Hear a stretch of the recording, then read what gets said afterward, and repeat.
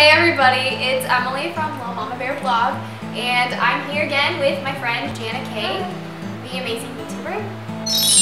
In our last video, we were talking about the nine types of the Enneagram and briefly going through some attributes of each of those. Today we are going to be talking about how understanding the Enneagram is helpful in our relationships. So I'm a two. And I'm a nine. My husband is a nine. My husband is the two.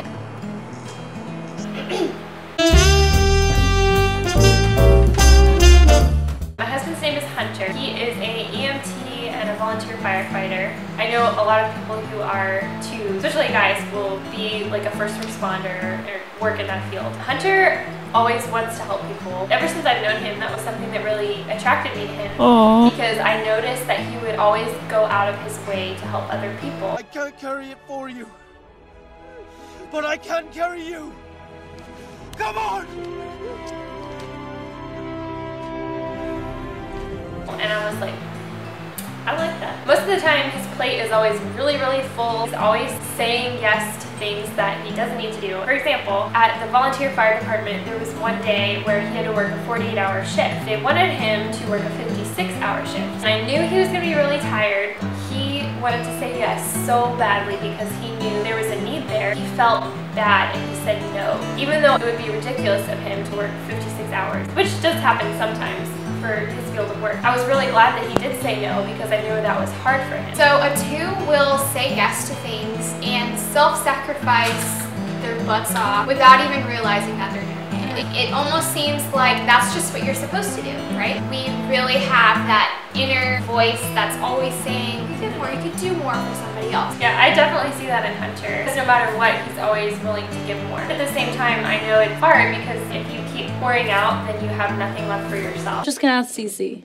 But next time you guys want advice about girls, don't come crawling to me. You got it. That sounds good. Yeah, I can. No, that was a joke.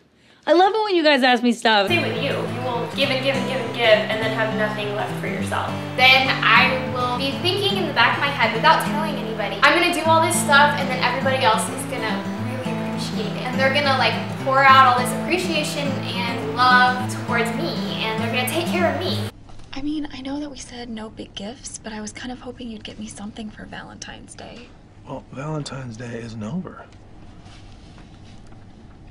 The thing is that when you don't communicate things, people can't read your mind. Yeah. So it, it becomes a really unfair, passive aggressive situation where I'm like, I did this for you, you should just know that you're supposed to do something Yeah. for me. You never ever appreciated me. I would work my fingers to the bone all day with the kids, with the cooking and the cleaning and the laundry, and then you'd waltz in with your list of demands and not even a thank you. That's right. Deborah understands. That is something that's been really helpful for me to know about myself with my marriage. Ryan can't read minds. What? what's So and I can't read your mind either. So if you're like having a bad day or you're really feeling like you need extra support, it's hard for you to express that need. I think I need a hug. But at the same time, you want people to give it to you without you having to say it. Oh snap, son. My husband does the same thing. It's been helpful to realize those things because I can talk about it with people in my life that are too. I can tell him, like you said, I can't read your mind. You have to tell me. What do you want? What do you want? It's not that simple. What It's- do you want? Tell us a little bit about being a nine. One really common trait of being a nine is you feel like you can relate with every single Enneagram type. I would read all the types and be like, I could be that one. I could be that one. I really felt like I could relate with all of them and I wasn't sure what I was for a while. Who am I?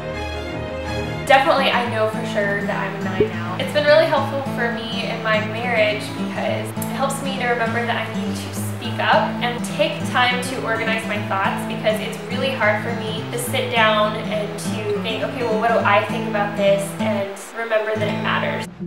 Stop!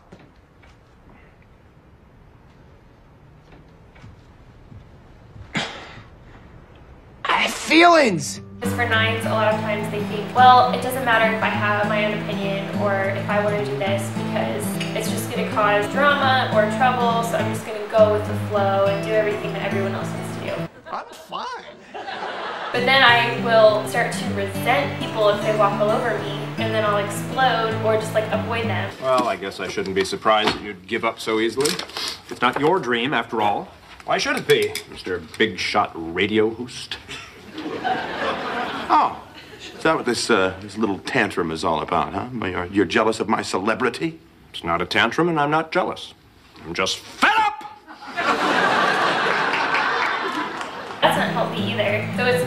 finding a balance between knowing like when something matters, I need to speak up because it does matter. And that's still really hard for me. Twos and nines can often be confused with each other because they have similar attributes. That whole you should kind of know how I feel without saying anything. I see that a lot with my husband too. He will automatically give up and do whatever I want to do. He won't even tell me that he doesn't want to do that sometimes. One time we went on a date and we were see a movie was sold out. I said, we could just walk around. This is a really pretty square. We could just go maybe get some dinner. And he was like, well, I wanted to see the movie, but uh, okay, that's fine. Later that night, he told me that he was really upset that we didn't get to see the movie. He would have rather just go to another theater. He didn't tell me. Being a two made me so sad because I would have very easily given him what he wanted. You were so lost you didn't even know what kind of eggs you like. So that's part of the whole 9-2 relationship. You really have to be honest with each other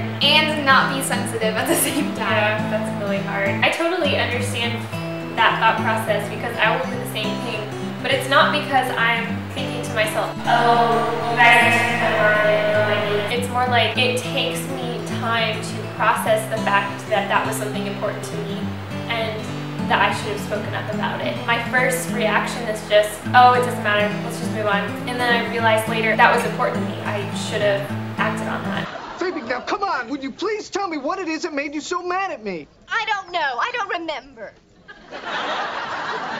If you can't remember, can't we just forget about this? Oh, no. I am mad at you. I know that much. So it's really helpful to learn about the Enneagram when it applies to your relationships. I honestly did not understand that everybody else thinks a different way. There are certain people who think the same way that I do, but then there are people who think completely differently than the way that I do. I feel like it gives you a little bit more grace for people right? because you can think, oh, well, they don't see the world the way that I do, so I shouldn't expect them to act the way that I do. Exactly. We can both see the same situation and process it in a different way. What, baby? Cool. Is that all we're gonna say? So thank you for watching. If you haven't seen our other video explaining what the Enneagram is and a little bit about each type, then we will have a link for that. Like and subscribe and comment below with what Enneagram type you are. If you haven't taken the Enneagram test, we can leave a link in the description below. Also, there's some podcasts that we like to listen to. My favorite is Typology and The Road Back to You.